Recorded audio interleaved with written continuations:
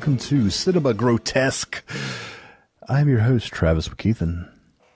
I am a co-host, A. Igil Anderson. And welcome to the show where we watch movies that, uh, They are something that were put to celluloid. exactly, at some point in time, somebody put some effort and some time and some thought into making these movies, or at least we're led to believe. So, today, for our first episode, we have something special. Very, very special. Uh, Well, you- I I thought I thought of the name Cinema Grotesque, and the uh, the uh, you know dictionary meaning is you know uh, yeah so from Italian grotesque uh, grotesco uh, is literally of a cave. okay. So that was right. kind of that was kind of the uh, thing. It's it's something like from deep, from something like pulled up from deep in the earth that that should probably have been forgotten. But for this first movie, we have something generally grotesque in the modern sense of the word. Exactly. So a little bit of background. Um, we kind of pull movies at random. This one was introduced to us by our fine uh, co-staffer over at Shatter.media, Dave Diga- DiCaprio, in which he posted a poster that I had never seen before. Uh, and uh, might as well bury the lead uh, for a movie called Star Babe, which, if I had to imagine just looking at the poster, I would say it looks like Debbie Does Dallas mixed with Star Wars. What are your thoughts, Eagle? Uh, yeah, the the poster sort of gives that. Uh, it seems like you know, star uh, bimbos in space. That's pretty accurate. Yep. But yeah, but uh, the reality was a lot more filthy than just you know an innocent space themed porno. Yeah, to get it right out of the, uh, get it right out there in the open. Neither one of us knew this was a just full on porn. Whenever we decided to No, watch it, I, I thought I thought this was more like a, a skin flick. exactly. It was going to have flat-out breast. one. It was going to have breasts. It was going to have mock sex. Uh, so we're like, cool. This should be funny. Um, however. And what we came to find out is that, uh, yep, just pretty much uh, full on porn with a little bit of story. Full on seventies porn. Yeah, that, that bush cannot be uh, forgotten. Just the bush, the lighting, the sets, the music. The tinfoil Like- walls. the everything about this movie screams like 1977 Yep. and yes in 1977 producer director george lucas created the star wars trilogy he changed the way we looked at movies but that same year director jack genero produced star babe in an effort to capitalize on the craze and in no way whatsoever change the way that anyone looks at porno except in disgust. Yep, that, that that is a pretty accurate uh, interest. I mean, in fact, you can barely find anything about this thing on the internet. I mean, the fact that we were both able to find a working, and I use working very, very lightly there because this fucking audio, this audio track that we've got on either one of us, absolutely horrible. Had to listen to this multiple times to make sure I was hearing the correct things that I was, which, yeah, they they say some horrible shit. You kind of wish you didn't. Pretty much, yeah. I mean, honestly, yeah, it's. Yeah, so it was it was recorded in 1977 with probably a potato for a microphone. And then we go through like eight generation burns. So like the end results sounds like someone muffling someone that has been gagged trying to talk into a uh, a dictaphone from 1981. Yeah, kind of what I imagined as I was listening to the whole thing is uh, the whole mo- the majority of the movie. I'd say close to eighty to ninety percent has been ADR'd, which is essentially putting in audio after the movie's already been made, probably because they had even worse audio. But what the audio Yeah, reminded but, me of, but it, it- like the ADR audio was still terrible. Absolutely Like, horrible. It was not done in any sort of studio, uh, in any sort of studio. I imagine it being done in a back alley bathroom, like not even like a real bathroom, but a porta potty on the side of somewhere. Somebody just took literally like just the shittiest Casio recorder from the 80s, hit record and say, just say whatever you like here. Doesn't really matter that much. We've already got The what we've 70s, though. 70s, yes, I'm sorry. Uh, they might have had those in the 70s. I don't know.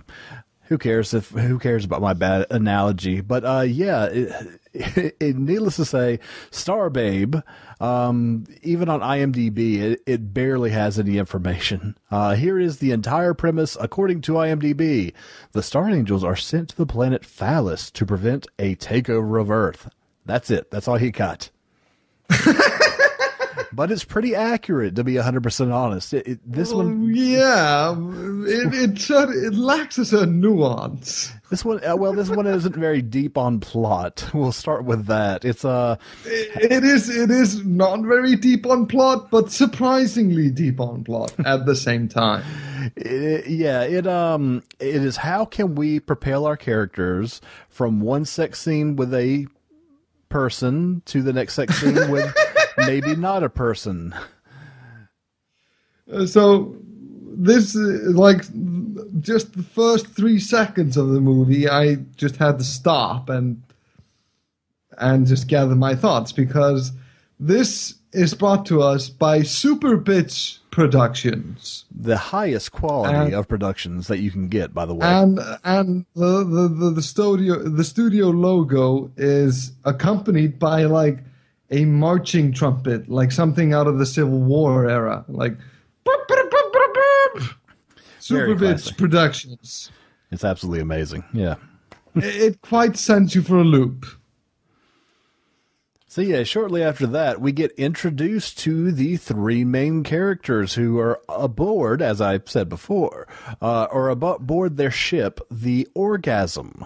Which, yes, that The is spaceship orgasm. Exactly. It's a fine name. I can imagine when it was uh, initially sent out to space, there was a nice ceremony. There was champagne uh, busted on the side of the Orgasm because that's really the only way to launch a ship. Like you have you have your Enterprise, you have your Voyagers, and you have your orgasms. All great spacefaring vessels names. Yep. Very good progression as well. So on this fine So, ship yeah. orgasm, Well, well, you're getting a bit ahead of yourself because this movie, like after you get through the the amazing studio logos, um, you get just 30 seconds of just flying through space. It looks like that screensaver you had in the 90s. well, to be Just fair, 30 seconds of that with nothing, and then we are uh, introduced to the the very thin premise we have by a disembodied god voice. yep, gotta love those voiceovers. And they say that in the year 2080, God created three lovely space maidens. So, fuck you, evolution. Yep, that that that proves it all wrong there. So, yeah, we've got it going on so far. Science. And and yeah, so those three space maidens are, are Star Babe, Twinkle Toes, and Milky Way. Exactly. Very original. And uh, yeah, they they do not at all sound like they are My Little Pony characters. Except if you think about it for more than a couple seconds.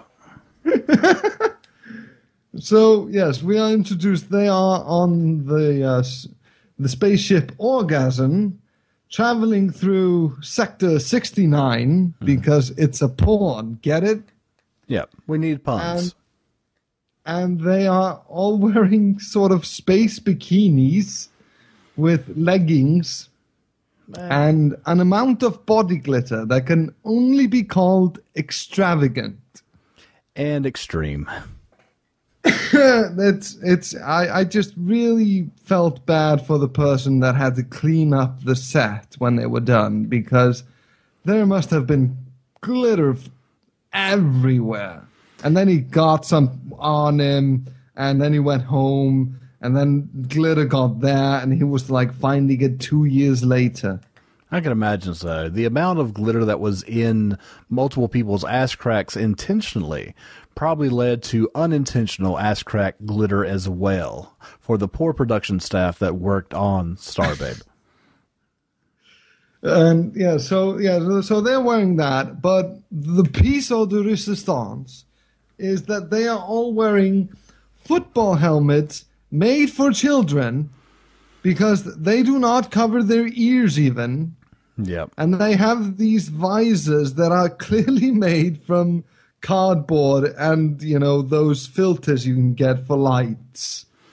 Exactly. They really use the video game ideology of women. The best way you can be prote- protected against the elements is less clothes. But if you have to Yes, wear something, make sure it's, a plastic helmet. Clothes. Exactly. It's very futuristic. We'll learn about it in three years. And yeah, so we are we are introduced to them on the Starship Orgasm, and among I, I I just had to stop the movie for a second because among the instruments on the various consoles these three women have is a pocket watch glued to a a console. Yep. You know, just It- so the guys keep, they can keep It's, time. I, I I don't. e- It's not even a stopwatch. It's a pocket watch. a pocket stopwatch. Probably used in running events. I don't think it had the ticker, you know, which, which you get with with stopwatches. You just it just was a pocket watch that showed the time. But it, it will get eh, more important as we as we move on, astoundingly. Exactly. So they are on a secret mission to the planet Phallus. Which, as you could imagine, is uh, shaped like uh, Waterworld. I, I'm I'm trying to figure out how to No, explain it's this. it's just shaped like a planet. There's no reason why you would call a planet phallus Well. because it's not phallic at all. Well, if you use your imagination, it's quite phallic. But yeah, so Star Babe, we got some exposition about where they're going, and they are almost there, but still not quite. So Star Babe sends Twinkle Toes and Milky Way for a break, and the two. And yeah, they, he, she sends them on a break. Uh, you've been working hard. Go take some time off. I'll manage the ship. I'm the captain or whatever. Yep. And as any two women that have been trapped on a spaceship for an unno- unknown amount of time would do, they les out. Yep.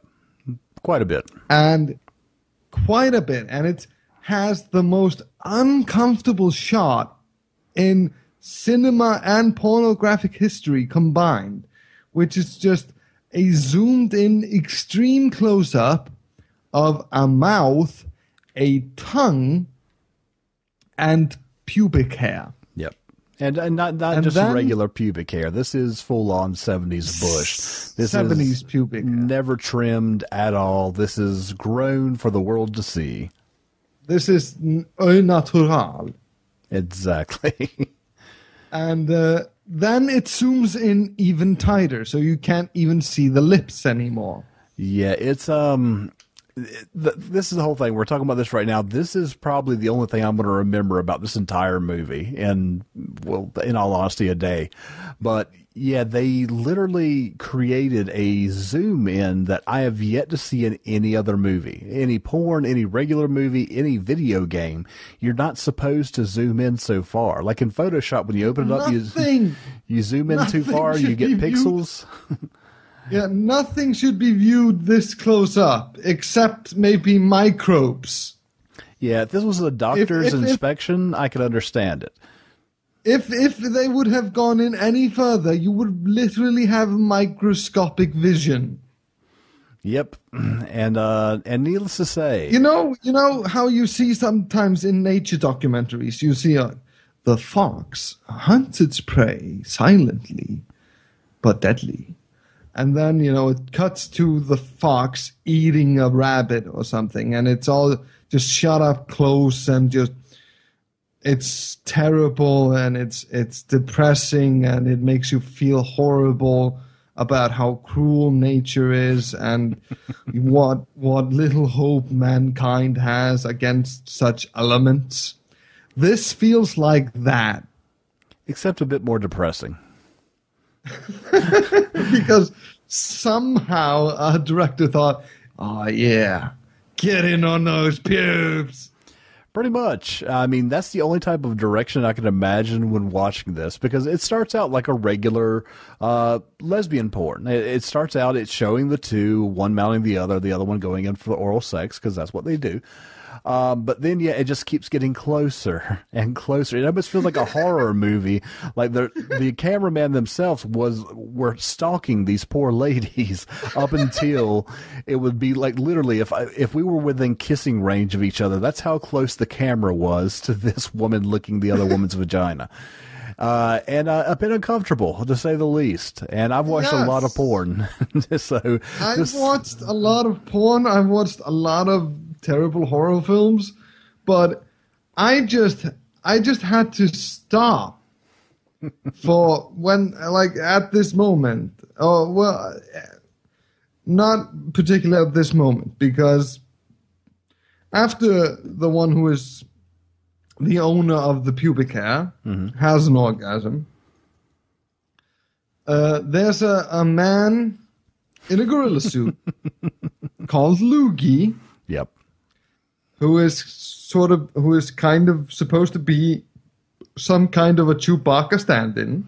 Very poor man's Chewbacca. I mean, this is just a monkey suit, like you would imagine yes, somebody this is wearing a, a literal gorilla suit with a zipper on front, a visible zipper on front. Very visible. And he's just passed out next to the bed when where they are doing their business. So he wakes up and what do they do? Well, of course, they start sucking on his penis. Yes. A bestiality added to this fine sci fi epic. And at the, it was at this point in time I had to stop the movie and just I couldn't take it anymore. The the bush mouth scene was had literally made me queasy. It had made me sick to my stomach. And then they started going down on a man in a gorilla suit, and I just said, "I can't handle this. I, I can't go back. I can't continue. this must stop." So I did, and I came back to it. I think a day later, and do you know what the sound I made was when I uh, resumed the film. It was. Oh.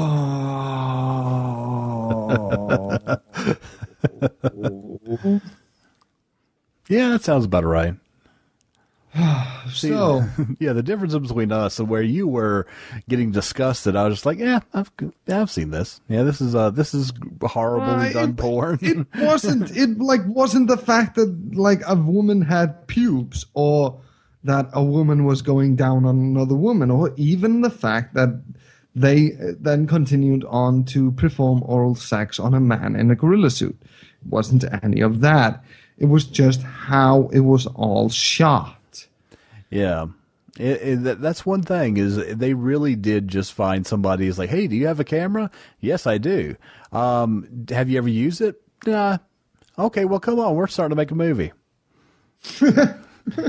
See that now this lady is is giving this all other lady oral pleasure. Mm-hmm. Now I want you to uh, record that. Are you in close? Um, yeah, I guess. Go in closer. nope, still closer. Are you? Is she literally banging her head against the camera? No. Well, then you have to get closer. That's how. That's how movies are shot. Uh, this is porn. God damn it. so yeah, uh, no. I said. Uh, the whole thing is up till now. I was I was kind of worried about the quality of this. I mean, even through watching the lesbian scene, it was like, okay, this is kind of silly, but whatever. But as soon as the man in the gorilla suit uh, comes out to get a blowjob. Um, and the fact that you can see the zipper and everything like that, and then you see this very, very white penis come out of a pre-made hole in the gorilla suit. That's when I was like, "Yeah, I'm going to stick with this movie till the end. This is uh, this is something special here." Yes, well, uh, it's funny that you you should me- mention the Caucasian penis Yes. because the man in the gorilla suit speaks like I don't want to be insensitive here, but he speaks like a disco, like a disco going black man. That's He sounds- right. a stereotype. Uh, he, he, he's he's one step away from calling someone a jive turkey. And I'm quite surprised that didn't happen, just considering the dialogue itself was literally. Uh, just imagine any type of stereotypical 1970s movie where they actually gave a black man dialogue. That's kind of how the whole thing was. It was just like, yo, um, and uh, yeah, suck this dick. I'm not even going to attempt yeah. to. I'm not going to attempt to uh, recreate this voice just for the plain fact I don't want to be that guy. No, okay, I'm not gonna be that guy either. But yeah, it was. I'm not gonna say disco N word, but that's what it sounded like. Yeah, that's about right. If I ha- if I had to think of a word to where how they chose to give this gorilla or man in a gorilla, white man in a gorilla, a voice, it was you know what stereotype. Here you go.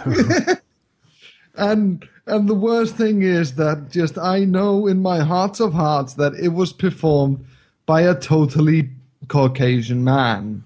well, there's no question. I mean that that was No a very average white penis that came out of the gorilla Well, suit. I mean, it, it could because everything was ADR. It could have been fucking anyone doing those lines, that is true.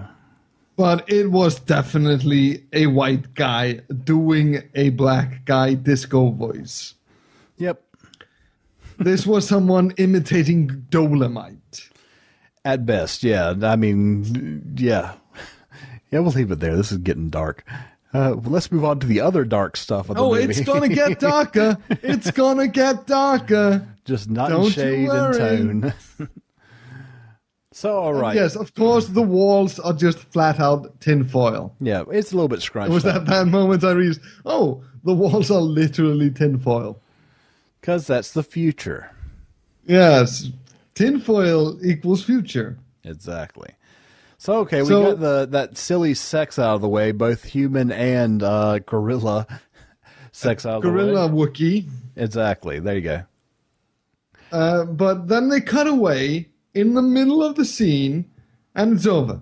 Yep. They don't even have the common fucking decency to show an ejaculating penis. In a man in a gorilla suit, which I've never seen before. Well, before. I mean, it's a porn. I agree. You got a penis. You got to show it ejaculate. That's how you know it's over. That's pretty much how it works. At this point in time, although they showed a lot more than they usually show in like sexy type movies that aren't porn, at this point in time, I did I still wasn't sure. I was like, maybe it's not a straight up porn. Maybe it's just a very risque erotic film uh, that happens to be. I knew that was fucking porn. So yeah, it, it took till later. We'll get to that. Uh, but yes, I just thought like why? I just thought it was just gross ineptitude uh, that they like messed up the shot and couldn't use the ejaculation shot because it looked like shit or something. That's a possibility as well.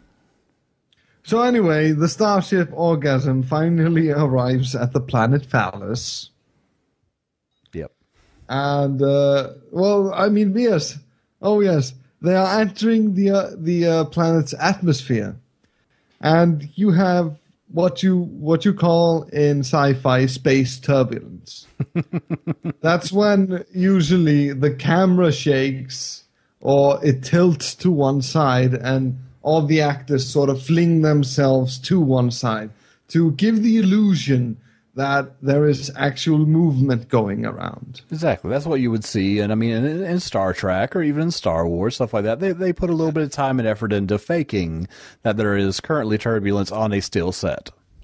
Yes, but they don't even bother. in this movie, they just have the actresses slightly jiggle.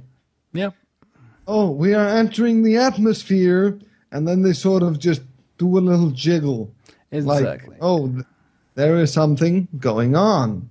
And it would have been laugh worthy if it was just like maybe, okay, well, they're just shaking their breast or something like that. No, they were just kind No. of spazzing out a little bit, just kind of shaking. I mean, it wasn't. It wasn't even a full-on shake. It was just kind of a jiggle, yep. Just a little. not little just bit. through the breast, just the, the whole body sort of jiggling. and yes, I, I wrote down. This is the most unengaging atmosphere entry scene in cinema history. Which I would have to imagine is probably the case. But yeah, so needless to say, that goes on for way too long. uh, yes, and they jiggling. finally and they finally land on the planet, and uh, so we get you know sort of the the ten four on what's going on. It's that someone has secret plans to do something we don't know what, but someone has secret plans, and they're gonna get him. How are they gonna get him? Well, like Starbabe says, all men in the galaxy want the same thing pussy. Exactly. To which either Twinkle Toes or Milky Way replies, It's never made clear who is Twinkle Toes and who is Milky Way. And it really doesn't matter. They are totally interchangeable. But yes, one of them replies, Yeah, especially when it's hot and wet. Mm-hmm. So this is when you definitely know that this is a sex movie that you are watching because of the amazing dialogue. and um, just the delivery is so in, unenthusiastic. It's someone saying words without knowing what they mean. Yeah, it, I would not have been surprised if this entire movie was actually made in a different country and the whole thing was dubbed over in English. Because they did seem Yeah, to not well- quite understand what was going on the entire time. Not not surprising at all. But Travis, have you ever wondered what the anus bar looks like? You know, I've spent many a nights uh, right before sleep. Usually, uh, I, I I don't I don't give it enough credence to enter my dreams, but I sit and think to myself, um, if there was a bar called the Anus, what would I imagine? Um, and to be quite honest, up until I watched Starbabe, I, my my preconceived notions were totally off because Yeah, I, I was I was thinking like something along like you have like like the uh, alien queen Leia from Aliens. You know, you have you know sphincter like doors that open and close. oh, that would be amazing. everything kind of grows. But no, our our our heroines clearly also wonder what the anus bar looks like. So we go there on the planet Phallus, and apparently it's the number one pinball joint in the galaxy. It's uh, Where well where werewolf aliens smoke cigars and Lady David Bowie with an afro is a nude dancer. And what's the most popular pinball machine in the far-flung future of 2100, you ask? yep. Of course, it's the Evel Knievel pinball machine. He'll never die. I mean, in all honesty, he is he has been seen as a god, obviously, in the uh, in the extended future. So yeah, that's that's the the only entertainment you can get in the anus. Um, the anus only has a few pieces of entertainment. Whether it's the dancing naked lady with uh, we spoke about glitter earlier, but this is where they just didn't give a fuck anymore. They Well, I literally mean, it's just lady, it's lady, lady David Bowie. David Bowie is obviously seventy percent glitter, just like the humans are seventy percent water. I imagine that with her character, though, because the whole thing is, uh, once again, we mentioned this is a late 70s movie. And of course, everybody knows of the old situation of the 70s Bush. So it was, it was never uh, surprising whenever you see a woman that has quite a bit of pubic hair. This woman, the uh, female David Bowie, didn't, however and uh, it was a little bit off-putting because in the place of pubic hair, it literally looks like the makeup department grabbed handfuls of glitter and glue and just flung them at her private area. I mean, and just kept doing it for a solid 30 minutes, up to the point where it was way past degrading at that point in time. It was more of a sport by the time they got through throwing the glitter and glue at this woman's vagina. So yeah, that just to give you a little bit of a heads up of of the glitter department was definitely the best paid in this entire movie. Yeah, well, I mean, that they fucking earned their pay because there was glitter fucking everywhere. Exactly, in the anus. And, yeah, you don't want a lot of glitter in, the, the anus. anus. uh, which is going to be a, a, a, thumbnail for this podcast. Exactly. You'll see the amazing signage that the anus uses to get business. So yeah, so, we're in the anus. At this point, I just have in my notes, "Kill me, I want to die." That's about right. That's the right tone I think they were setting. just, this okay, but yeah, up until this point, you weren't sure if the director just saw a poster for Star Wars and decided, well, that looks like I can make something out, I can make a pawn of that. No problem. This could have easily been one of the situations to where it's like the old uh, children's game of where you whisper one thing in somebody's ear. So the first guy starts out with like George Lucas actually had some involvement in this, I imagine. He whispered Star Wars into somebody's ear, and then about four thousand years later, they heard Star Babe uh, with random yeah, it, fucking. It went from Star Wars, And then like ten minutes later, it was Star Horse and then Which, somehow that turned into Star Babe. Exactly. So we're we're here now. We're here at Star Babe. We're and, uh, at the cantina. So we're at base. This is basically the movie is if like the movie is like if seventy percent of A New Hope took place in the cantina scene, which happens to be in this movie in Anus or the Anus. Yes. Excuse me. So yeah, the anus cantina. And this was when I first realized because I didn't know going into this. I should have imagined, but I didn't know this was essentially a Star Wars parody or a Star Wars ripoff or whatever you want to call it, uh, because there was really no fucking clues to it before now. Well, I mean, there was the Wookiee. Well, it was a man in an ape suit.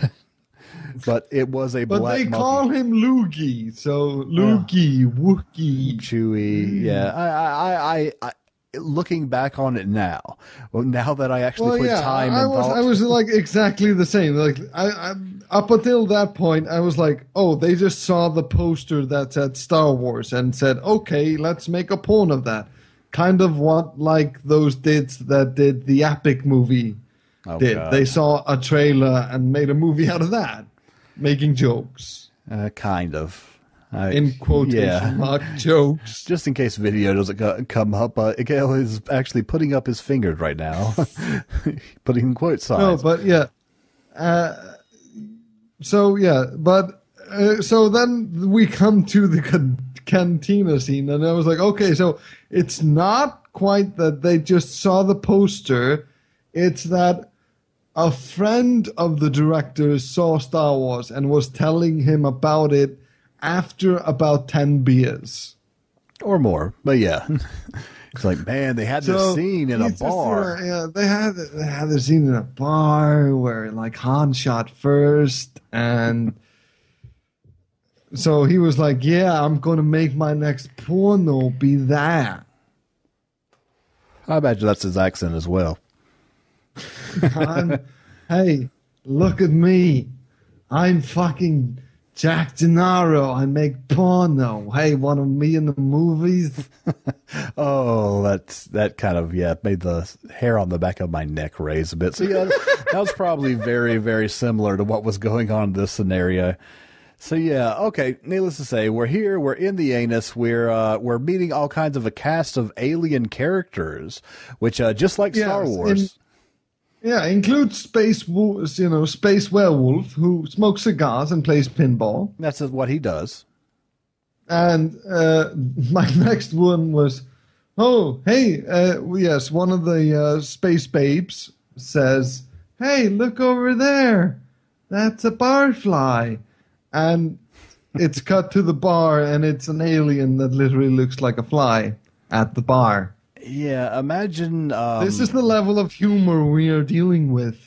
Yeah, and the costumes as well. Imagine uh, a Halloween a store that specializes in Halloween gifts. Like three weeks after Halloween, where they're trying to get rid of the shit that nobody wanted, the producers bought that shit for Star Babe. these these costumes are, let's yeah. just say, a little bit cheap. And uh, like you're an American, Travis. Yes, sir. I'm not an American, so I'm going to defer to you and ask: Is the bartender supposed to be Richard Nixon? The bartender, in fact, um, is supposed to be. There is a uh, imagine Point Break and those amazing pres- president masks they had. This one was cheaper than that. Like you had to, you had to use some visualization. You had to imagine what it was. But yeah, um, I'm going to use my American rights to say yes, indeed, they were attempting uh, to have the bartender be old Tricky Dick Nixon. but I have to give them one thing: it was a better Richard Nixon than the one they had in Watchmen.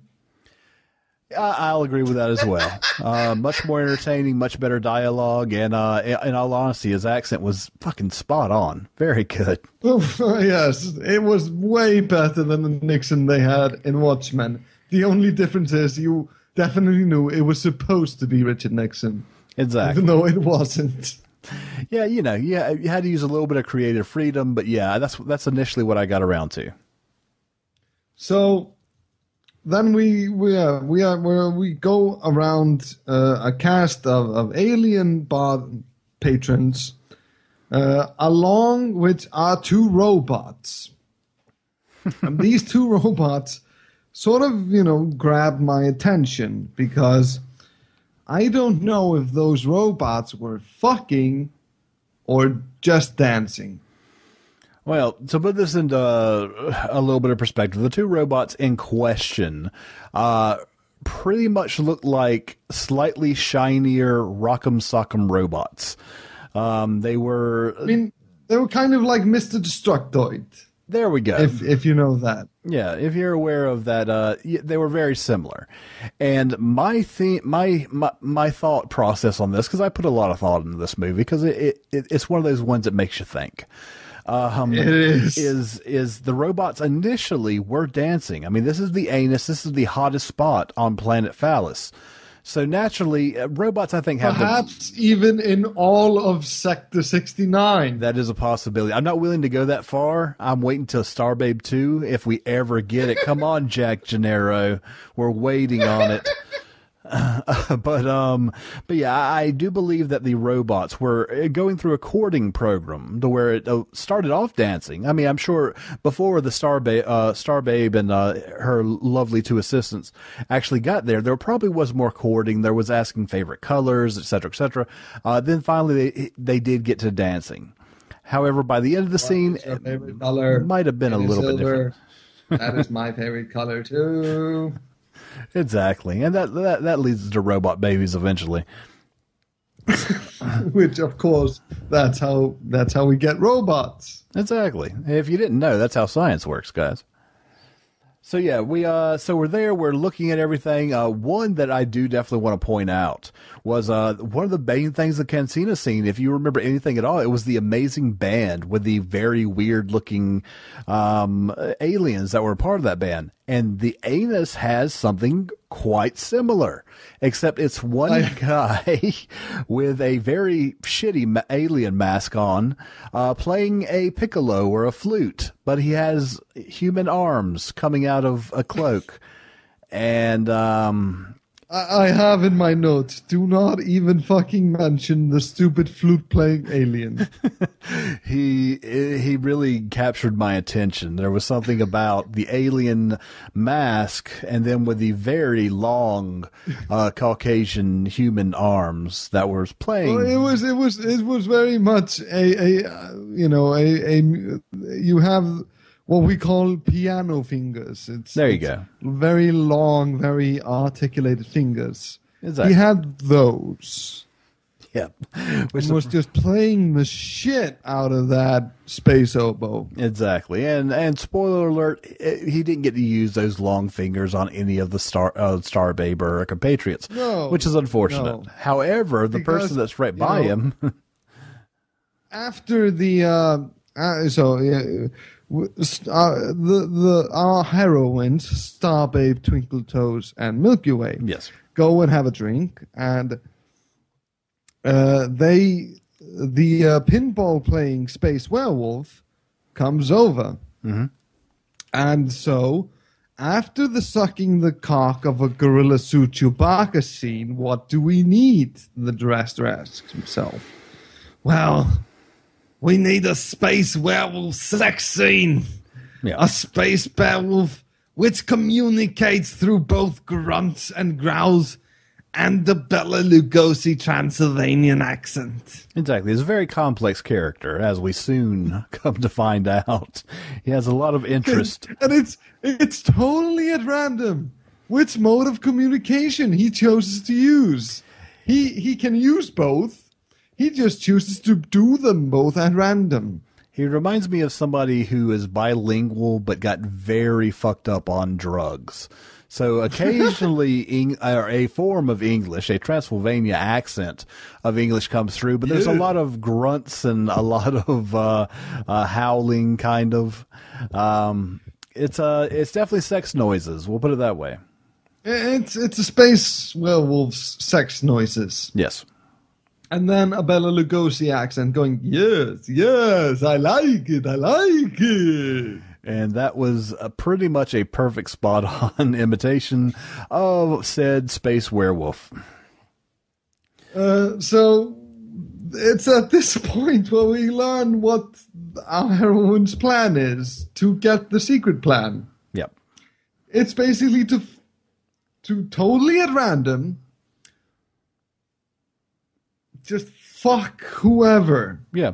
Uh, nobody in particular. Just the, the, their plan is to fuck every single living being in the anus bar until they stumble on the guy that has the plans for the Death Star or whatever. exactly. So um so yeah, needless to say they they could have picked at random, but it seemed like there was a little bit of there was a little bit of luck on their side for this one. Because the space werewolf originally thought Star Babe was a prostitute, and that's why he pulled her off to have sex with her. Which in all honesty she, In his defense, she did not reject that image. No, not at all. She didn't accept Entirely. any money, but everything else, yeah, was pretty much right out there on Front Street. And yeah, so of course our other two lovely ladies have to have other sex partners, which are well, one is is flute playing alien's friend, Yeah. Elephant Man, after he joined the Blue Man group, That's exactly And what it sounds like. and the other one is David. David is Devil David Carradine. Yep, that's pretty accurate as well. it's uh And- because yeah, I mean, honestly, while while I mean, the whole thing is who could possibly have the microfilm or whatever like that. It's, it's going to be who's banging Starbabe, but we'll get back to that. So yeah, we need to we need to fill time with the other two lovely ladies, Miss uh, Twinkle Toes and Milky Way. So they have to find somebody just in case they happen to have the secret plans hidden somewhere on their person. Yes, on the naked person, of course. But of course, that's the only way you could find it. So like at this it's it's like 37 minutes in and all we have seen is oral sex. Yes. And like I was thinking like it was all porn in the 70s this monotonous? but then Yeah. at at 38 minutes in 38 minutes in and this is just barely over an hour film Yep. we we get our first com shot Yep. It took a while.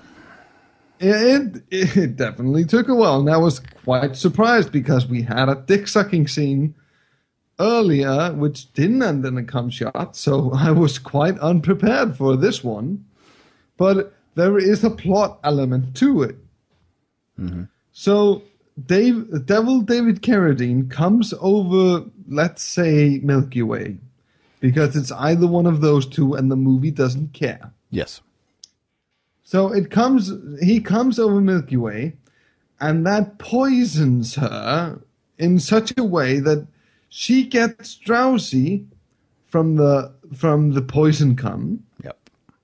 and is then bumped night at the Roxbury style between a pirate and a penguin. Yep. Uh, it does happen. Or, well, should I say rather a pirate and a man in a penguin suit? Yes, and which actually the penguin suit was the most convincing suit in the entire movie. And then, for no reason, no reason at all, the pirate breaks a bottle over Milky Way's head. Yeah, I mean the whole thing is in space they've gotten rid of roofies, so they needed something new. Alien cum mixed with bottle over the head. That is the new roofies in uh, 2100. Which brings us to the fact that there is an actual stormtrooper mask into this in this movie. Yep. this was at the point in time to where it was just like, yep, I know that what this is now. I wasn't 100% so- sure. At least someone on set saw the actual Star Wars film at this point. I think it's it's hard to hard to argue otherwise. This was like a first edition Stormtrooper helmet that had to have come out that same Halloween or before it because it wasn't high quality, but it was it was uh, better than most. No, I think I think I think it was like actually made from the actual cast. that is a possibility. like- could have been the same guys. It was it was yeah because like he up the uh, special uh, the uh, costuming guy apparently started after the movie started making like bootleg copies of the masks nice.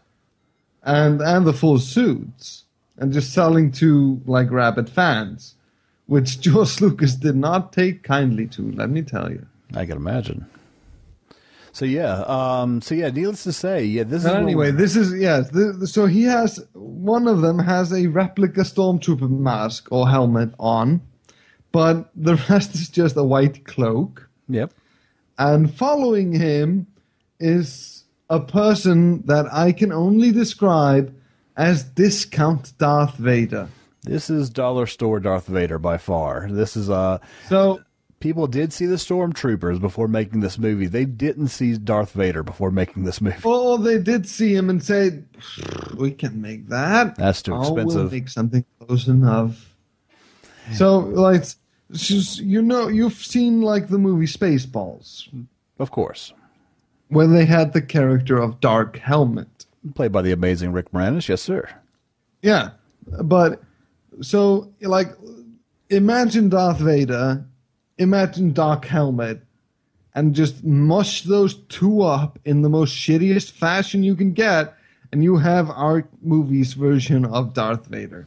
That's that's very fair. A very large helmet with a very odd detail. So yeah, I, I'll give that to you.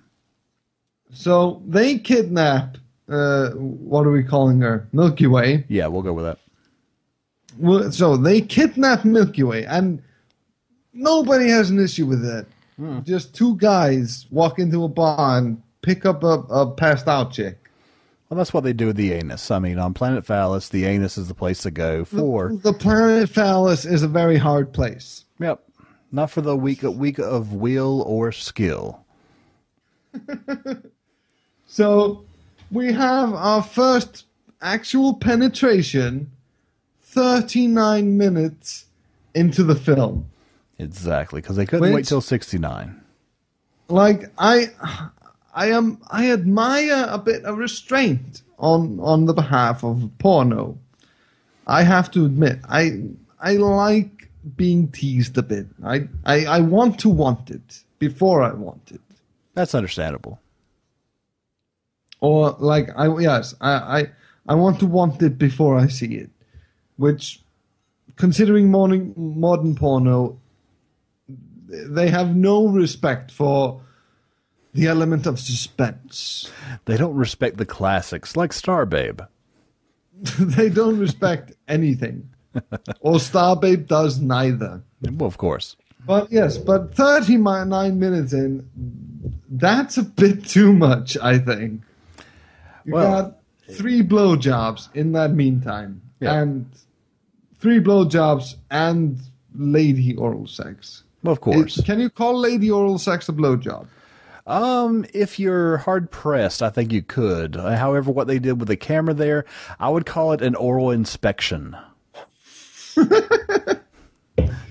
So, yeah, so this is the scene between Star Babe and the space werewolf. Yep. which that's where we get our first penetration shot. And accompanying this penetration shot is the uh, is like the soundtrack takes a very weird turn. It's it, you, you it's it's like you've seen Dawn of the Dead Oh yeah. that has a very famous song, uh, which is done on a xylophone yep. by a band called the Goblins. It's it's a very iconic song. It's the uh, end credits song to Robot Chicken, even. Very good. So, the song for this scene they went for for our first penetration sex scene is a third-rate Goblins cover band. Yep, I can see that. which is just wacky xylophone music combined with a woman moaning and a man doing a werewolf sounds and I like it. I like it a lot. It was almost it was it re- was reminiscent of something like Benny Hill, just to where it was the music was almost intentionally comedic, even though the scene wasn't setting up that atmosphere necessarily. It is the most bizarre soundscape I have ever heard. And I've heard some weird shit, man. But yeah, so needless Okay. to say, we got we got a little bit of a, uh vaginal penetration going on, uh, which Uh, uh, we had finally have that, and we're then we are at the halfway point in the movie. which we can't overlook. Just like earlier within the uh, man in the gorilla suit having a very obviously Caucasian penis, we have this dark haired werewolf man who uh, also has a very hairless, uh, for a werewolf especially, uh, Caucasian penis. Uh, that comes out of a hole in uh, his suit, pretty much. His fursuit. Yeah, exactly. Which, you know, that's kind of how it works, I suppose. I haven't met too many werewolves in real life, but I, I'd have to imagine that's how it works in real life. Let alone space werewolves. That's true. I'm hoping one of these days. So we're more than halfway done with the movie, and all that our heroes have accomplished is, on the one hand, fuck random dudes who don't have any information pertinent to the mission, Yep. and on the other hand, one of them has managed to get themselves kidnapped by the bad guys. Yep. Which, if you're going to get kidnapped by bad guys, you might it might as well be a stormtrooper and discount Darth Vader. Yes, and remember when I said the movie could get darker? Much darker. It gets really dark. Because yeah, so discount point- Darth Vader and the Stormtrooper take uh, Milky Way to a barn because somewhere. the anus has a barn.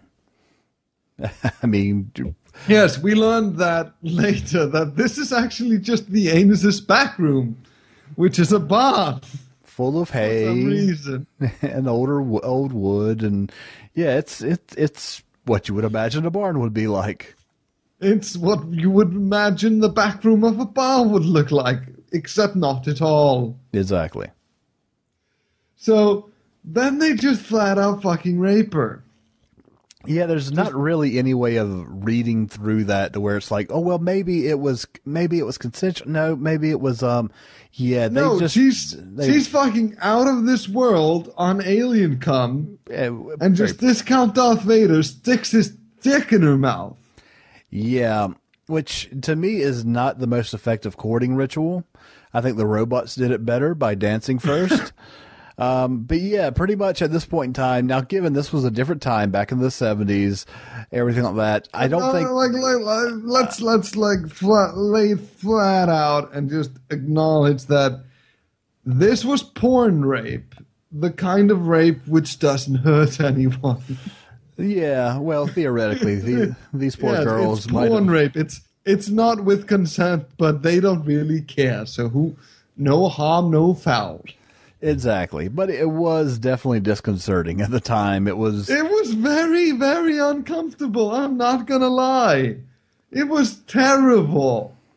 Because they didn't have it set up to where this was supposed to be like a very fearful or very scary scene or something like that. Like, oh god, she has to this deal was just a porn. yeah, this was just another sex scene to where it was just like, okay, well, discount Darth Vader's going to stick his dick in your mouth, and uh, really just stormtrooper in a cloak's going to have his way on the other side. And Yeah, uh, they have a spit roast. yeah. So yeah, needless to say, this is uh at this point in time, maybe at the time they thought nothing of it. It's like, oh, people are just happy to see a Star Wars reference. No, this is just where it gets really bad and ju- well, Oh, bad God. perspective. Um, so yeah, needless to say, now that we are watching, uh, yeah, Darth Vader on the front end, uh, Stormtrooper on the back end, and uh, I mean, there's no screaming or I'm yelling. gonna spit roast. Yep. Um, so yeah, now now we get into the what you would imagine a dramatic element of this movie would come. Like this woman's being taken advantage of by these space aliens who happen to look like something from a franchise. Um, but no.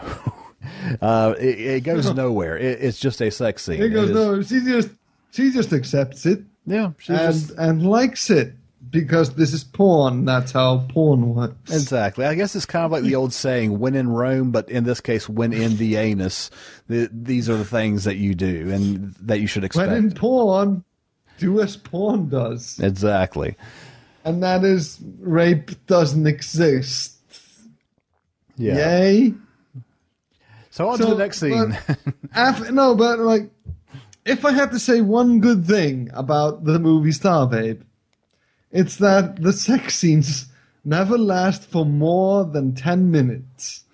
yeah, these are. At it's the kind of time. strange because at the time, I mean, I watched a lot of porn slash movies from the time around the late seventies, early eighties. They were usually a lot more story. uh story focused but then they would go on to these like 30 minute sex scenes and everything like that to where it was the majority of the film was fucking not so much with star babe No, that's that's this movie has severe case of ADD. Yeah, just as soon as the sex warms up, uh, whether that be consensual or We otherwise. to do something else, and in this case, we go from raping uh, Milky Way by Discount Darth Vader and Star Babe to uh, Milky Way. No, no, to Twinkle, Twinkle Toes, Toes, yep. fucking the Elephant Man Blue Man group. For which, for God. some reason, she brings onto the ship, their own ship, to which they're there to do reconnaissance. They're trying to find out what evil person is trying to do things. But fuck it, let's bring them on the ship to fuck them because we've we've got this set already set up. So we gotta have somebody he fucking seems it. like a trustworthy guy. yeah, when a guy is all blue and the face almost looks a little bit like a vagina, yeah, I trust him entirely. Yeah, I mean, you know. So, I, I have in my notes. I never wanted to see Darth Vader come. now I have. Well, I can't say that I've never wanted to see him come. I just wanted to see him come in a better movie than this. like a much better Star Wars I'm porn parody. perfectly fine with never seeing Darth Vader come. Just perfectly fine with that. well, too late now. So, like, we we cut back to our titular character, who has been fucking Space Werewolf Bela Lugosi for twenty minutes. Exactly. Well, in in their time, in ours, we've got maybe about three or four minutes of it. No, no, no. Like, like in our time, it has been twenty minutes since they started fucking till now. Oh yeah, they've just cut away since then. They've cut away and done other stuff, but for twenty minutes of the movie measly 60 minute running time, or 64, I think. Yeah, 64 minutes. We've, yes, th- th- that is all our titular character has done. She has landed the ship on Phallus Yep. and fucked Space Werewolf Bela Lugosi. Exactly. So, in this scene, they are doing the sec the the 69 in Sector 69. Well, So it's kind of. As 69 usually implies, rather male, female, male on male, female, female on female, that there are uh, standard genitals going into each other's mouth. And, um, and that's that's the thing that I was so confused about is that I didn't know if she was rimming Space Werewolf Bela Lugosi or if Space Were- Werewolf Bela Lugosi was supposed to be a hermaphrodite. and in all honesty, Both with with penis, vagina, and butthole, all going. I mean, I- he's an alien. He don't know. Exactly. And that's the whole thing that I, at that point in time, my first thought, obviously, because there was a hole, another hole cut out of the suit, um, this time placed around the anus area.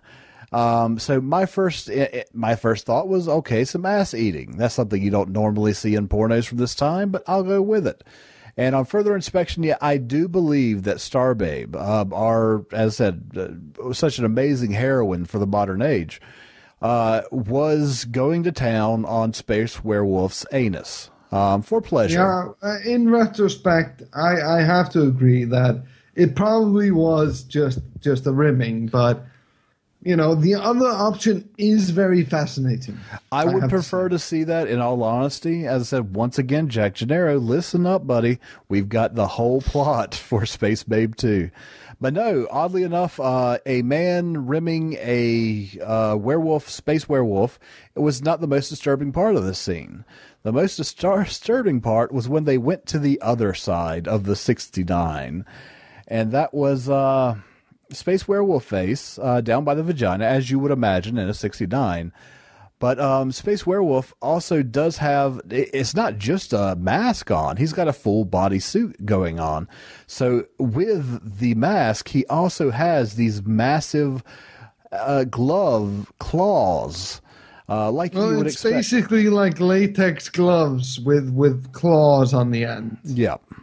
Um, so as you can imagine what he's doing with that, although because the face is frozen, the face he can't actually articulate or anything like that. It's totally frozen the way it is, so he wouldn't really be able to appropriately have oral sex with Space Babe. So instead of that, he decides to use what he has access to, which is his clawed hand, to penetrate Yes. Space Babe. And they do it very slowly. Both, both penetrate and stimulate the clitoris. Yeah, he, he was a very caring space werewolf. I did see that. He didn't go straight for the vagina uh, or for the vulva opening. He did, in fact, Yeah. spend some time around the clit. He is, although possibly a horrible, horrible man, he does care about how Space Babe feels at the time. And for that, I applaud him. I mean, you know, she was taking care of him, so Exactly. So, yeah, so needless to say, seeing, even if they were just latex, seeing massive, big, almost bear looking paws being inserted and taken out of a, a poor woman's uh, baby hole, it, uh, it, it was a bit uh, odd. But you would think that'd be the most odd thing, but nope, it wasn't actually, because they cut back to Star Babe and see what she's up to, and uh, what was she doing exactly there? there you go. Uh, she she was uh, giving him a rim job, mm-hmm. uh, but she found something. As you Yeah. do when you're eating somebody's ass out. That is uncomfortably true. But in this situation, um, let's actually. I, by this time, I totally have forgotten the plot. I was just like, oh, I'm, al- I'm along for the ride, no problem.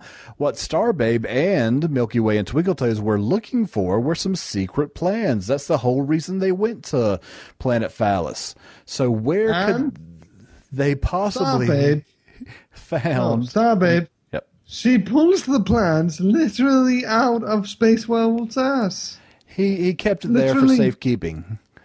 Literally. out of his ass, pulls it. slowly. Literally. Yeah, it was a, it was in a, uh, I would say a tampon or a very small, cheap vibrator that was sticking, protruding out of his ass. Uh, that I think it was remove. like uh, I think it was like a uh, you know how you used to have analog film, Mm-hmm. not or analog cameras, not digital cameras, yes, and the film came in these little containers. It was basically that, yeah, or a miniaturized miniaturized version of that. So maybe a microfilm container. yeah. I can agree with that. So, needless to So say, she pulls that out of his ass.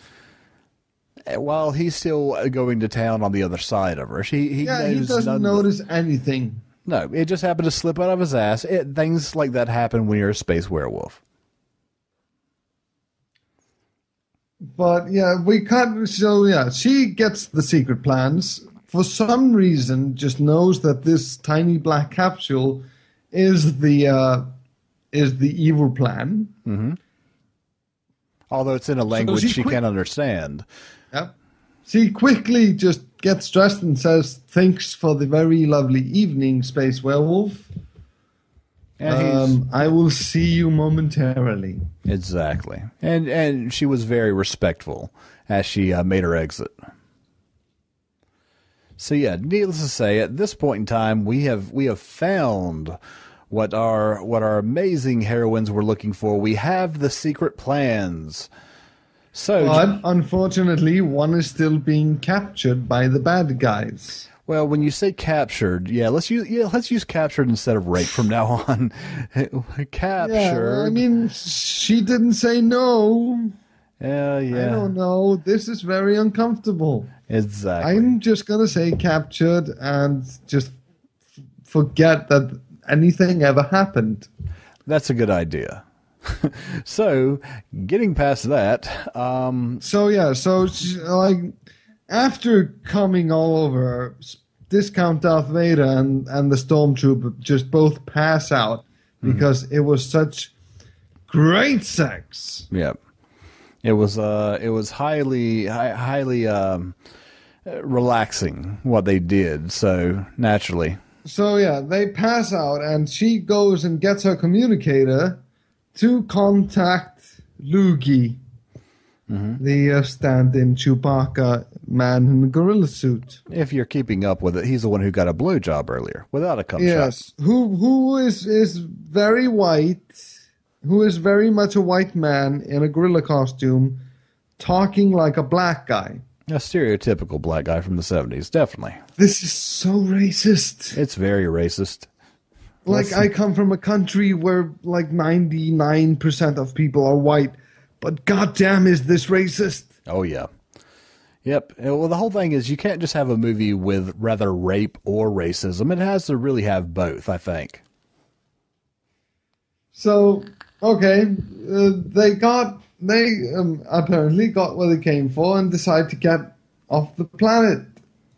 Yep. Which is a good idea. So, you know, they go back to the ship and they find fucking Twinkle, Twinkle. Toes there with with Elephant Man, Blue Man Group. And they tell Elephant, they tell Blue Man Group Elephant Man to fuck right off. Yeah, And just Lukey just tosses him off. Had no real drama or anything. It was just uh, get out of here and they just yeah, they just get. I mean, I mean, I think like Twinkle Toes had the fucking easiest time. yeah, She didn't have to do anything. She just fucked an alien. Pretty much. I mean, she wasn't taken advantage of. She didn't have to eat anybody's ass. It was just simply go have sex with this dude on the spaceship, and then eventually. Which you know and like is not uncomfortable for you in any way. Yeah. So, so yeah. Finally, we have all of our, our all of our vixens back on the spaceship orgasm, but they need to find out. Uh, they did, in fact, find the secret plans in Space Werewolf's anus, but now I, I, I want to talk about this scene. So, Okay. so they they they decide to get off planet Phallus, Mm-hmm. and this is this is represented through stock footage of some Apollo mission taking off, even though it has already been established that the Starship Orgasm does not look anything like an Apollo rocket taking off. But they could steal that footage, so they did. And they escape the planet Phallus and they talk about their mission. Yep. And so uh, Milky Way, who got double teamed by Discount Darth Vader and the Stormtrooper, asked Twinkle Toes, So, did you get the secret documents? To which Twinkle Toes replies, Gosh, I forgot all about it. Which, in all honesty, if you were being molested, I mean, come on, she just got fucking raped. yeah, that's not And then fair. like, sorry, I couldn't give a shit about you and what happened to you. I just forgot. yeah, she's going to need counseling for quite a few years, but no, they're worried about the fucking secret plans. But and they, I have to point out, they call her Star Baby like half the time. They do, for no apparent reason. it's like Star Babe, Star Baby, whatever. Yeah. Star something. I don't It's give a shit. Th- they stopped caring a long time ago. And so they contact their superior, whose name Captain Marvelous. Captain ah. Marvelous, whose costume is a yellow unitard with Yep. a cape, mm-hmm. and the words Captain Awesome on the chest. Yep. And in between the words Captain and Awesome is a picture of Captain America. Yep. So and now, this guy looks like if you think, hmm, I wonder what 70s porn actors, male porn actors, would look like. You get this guy. oh yeah, this guy was definitely as stereotypical as you can get. I mean, kind He of looks the- like he looks like Danny Sexbang without being funny. Pretty much, yeah. I mean, he had the feathered hair, uh, the pseudo mullet. Um, yeah, I mean, he was what you imagine when you imagine a male porn star from the 70s. So, yeah, so they contact him, and he's like, uh, "Run the secret plans through the translator machine," and they do that, and they find out what the evil secret plan is, Oh, yeah. which is that that they are going to launch a uranium bombardment plutonium sperm missile. I think ISIS That- has those. That that are actual words said in this movie. yeah, so we have to worry about a very large rocket that is has a lot of semen in it. Which which the plan is to impregnate every woman in New York City. Mm-hmm. Which that's the city you would go for if you were going to hit Earth with a sperm cannon. Oh, not really. I would go for something I don't know. Probably Beijing. Beijing, you'll definitely get the most people, but I think you'll get the most influential people if you hit New York. Okay. So yes, so they launch they are going to launch a, a uranium bombardment of plutonium spur missiles. It's a Spock rocket. And so they have to stop the sperm missile.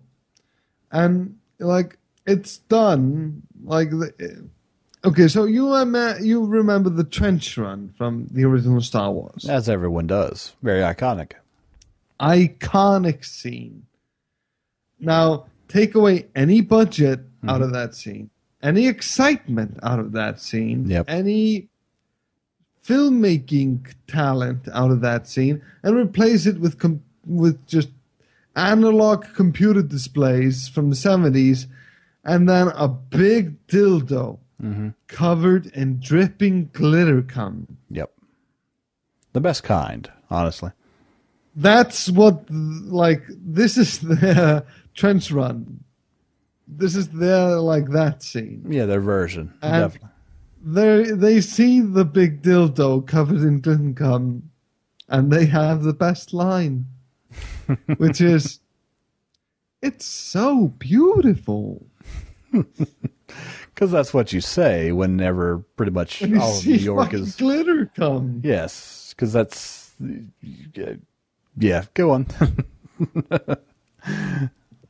Anyway, so Space Babe, Space Baby, whatever you like, yep. Twinkle Toes and Milky Way, um, they have to do, they have to press a button, I guess.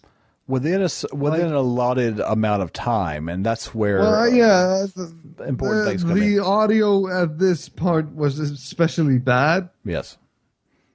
and it was the most dialogue heavy uh, scene. So, but yes, so they had to like shoot some sort of condom on the penis missile or Yes, sir. something. Yep. Uh, like I was, I was checked out at this point. but yes, so they have to like push the red button and then get away in 69 seconds time. Yep. I don't remember if it was 69, but it probably fucking was. If it wasn't, it should have been. And they actually used the stopwatch on the fucking console to measure that time. Oh yeah. because you know digital time just isn't reliable Not in 2100. You really need to go with something that's tried and true, something that's been used even in the Olympics for thousands of years. A stopwatch. or hundreds Hundreds, whatever. I mean, this is 2100, so think back. Uh, yeah, Oh. we'll go hundreds. not not probably not thousands Eh, this is this is Star Babe the- world. given that the watch was invented way past 1000 I'll take your word for it. so anyway yes so okay so yes they've stopped the sperm missile and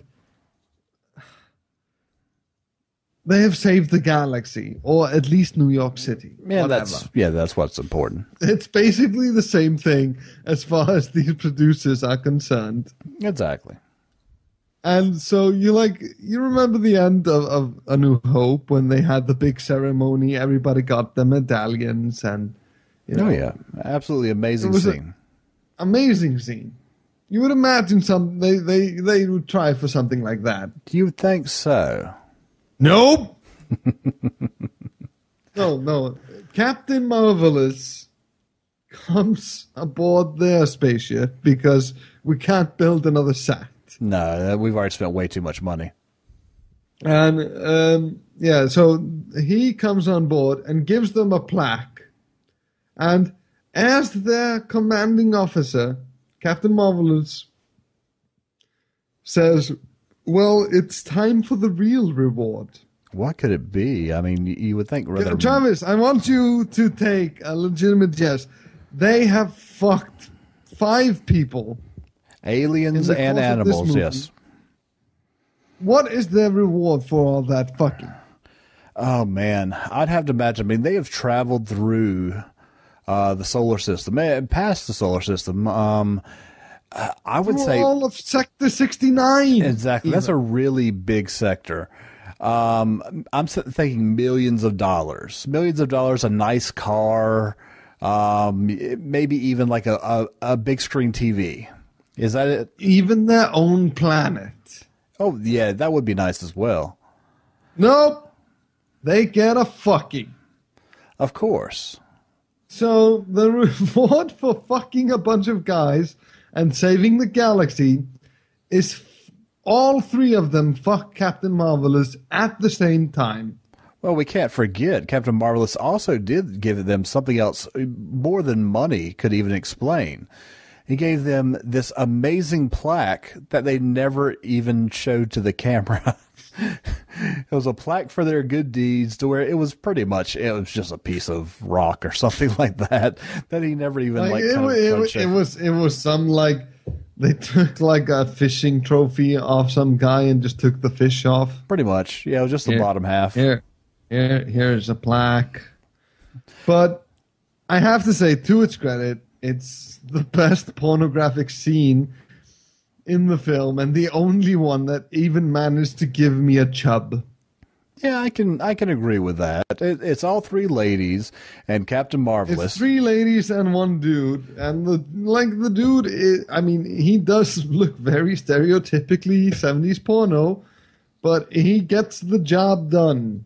Exactly, in more than one way. I mean, the whole thing is, if we could say a lot about Star Babe, but one of the most important things is this movie gave us two different analingus scenes. There was two different scenes where a woman was eating out a man, well, out a man's asshole and a space werewolf's asshole, and that's so that's something. It was really a trailblazer if you think about it. For its time, I believe so. I think they really just just pushed it, both in cinema form as well as in porn form uh, for us to be where we're at now and uh, the amazing porn and uh, movies we have now.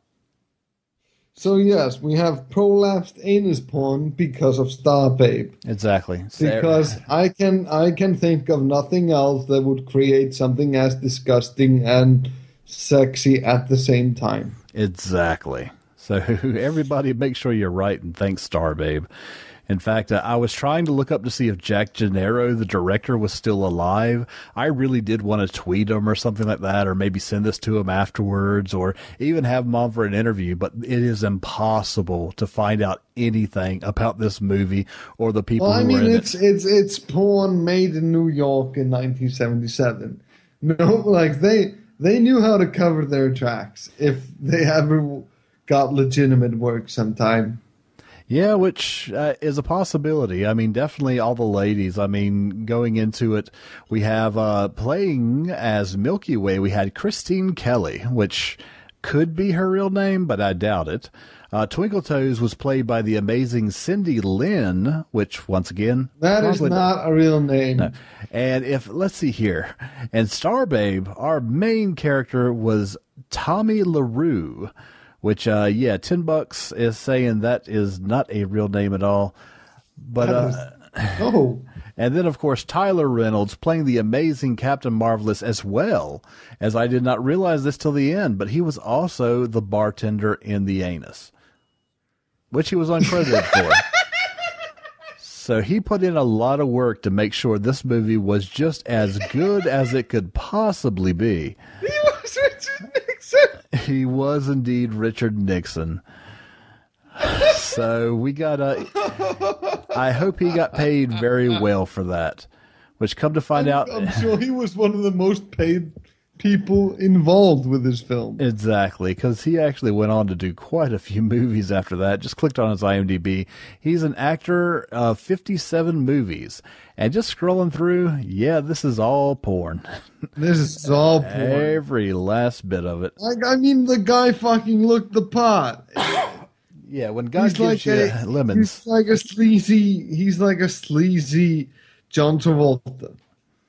Uh, well, he's kind of on par with John Travolta. I mean, he didn't do Grease, True. but he probably could have. John Travolta is pretty sleazy to begin with. Exactly.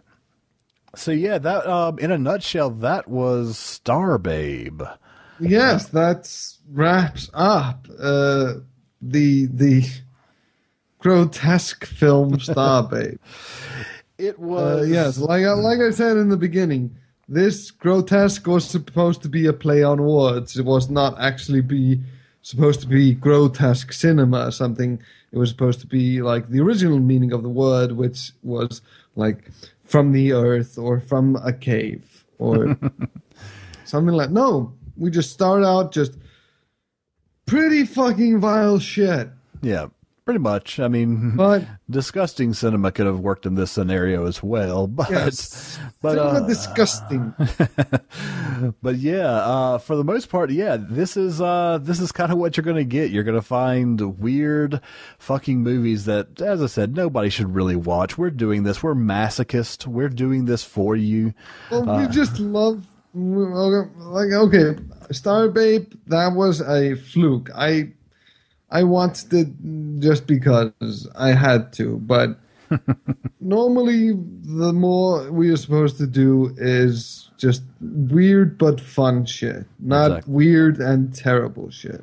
And we've actually got a really fun one lined up for next week. Uh, you want to intro that week one? is going to be great. So you know the actor Corey Feldman. Everybody does. He was in Goonies. He was in Stand By Me. He was in the Goonies. some amazing movies. He was in the Goonies, and he's a weird, creepy adult baby now. Yes. Uh, but in 2003, I think it was, Uh, 2004, I believe. 2004, he did. Uh, have you ever wondered what Corey Feldman's Solid Snake impersonation is? I haven't um, up until I saw the movie that we're watching for next week. And uh, So, have you ever won? So, if you thought, okay, so Corey Feldman's going to do a Solid Snake impression, I wonder what his hair is going to look like. I, if I had to imagine, I would say wig like. So, like, take a look. Google Beethoven. Oh, that's good. A yeah. wig like that. Yeah, yeah, it's uh, that's pretty are accurate. To, we are going to watch the uh, because we have already spoken about full moon features.